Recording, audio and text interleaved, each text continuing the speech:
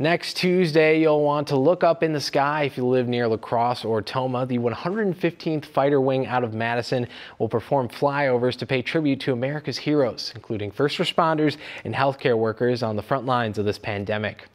Right now, the flyover is scheduled to happen at Gundersen Hospital at 6:59 on Tuesday night. That'll be a north flyover, and then over at the Tomah VA Center at 7:10. That's also a north flyover. Those times are subject to change based on the weather. Four F-16s will be performing flyovers all across the state on that Tuesday.